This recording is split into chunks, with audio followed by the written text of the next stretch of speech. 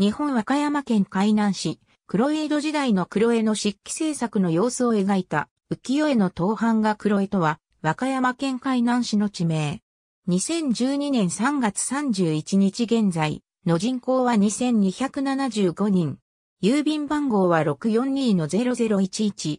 海南市の北部に位置しており、北和歌山市、冬の東で岡田、南で日方、西で千里、北西で和歌山市家見、内原と接している。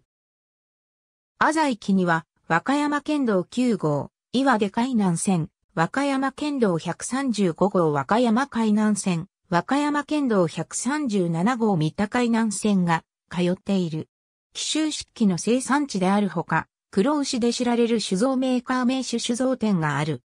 講義では、海南市立黒江小学校区の内海南市に属する地区を指し、千尾、黒江、岡田の一部を付さして、黒江地区と称することがある。また、学区ではなく、海南市役所によって定義された市内を15地区に分けたものに従った場合、大技黒江は単独で、黒江地区、大技千尾は単独で、千尾地区、大技岡田は亀川地区の一部に分けられる。黒江は上、熊野街道に沿って形成された集落で、古には船、小山霊の南側は入江となっていた。貴族風土記によれば、入江は干潟になっており、干潮時に水面に現れる牛によく似た黒い石に、ちなんで黒牛方と呼ばれ、それが地名の由来となったという。室町時代に木地氏が定住し、漆器や日用品を作り始めたと言われ、江戸時代初期には漆器の産地として紀州藩に保護されて発展した。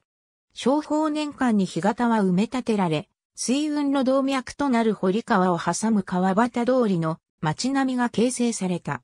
明治時代に入り、黒井の漆器製造は大衆向けへと転換したが、生産の近代化に伴って昭和44年に岡田に漆器団地が作られ、多くの漆器業者が移転している。